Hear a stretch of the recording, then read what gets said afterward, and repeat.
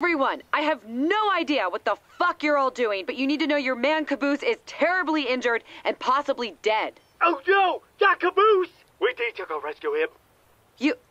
You're okay. Oh, yeah. You know, I fell down and stuff, but, you know, I landed on my head, and that's okay, because that's the part that's most used to it. So, yeah, I'm fine. Things are good now. Yeah, I'm gonna go lay down.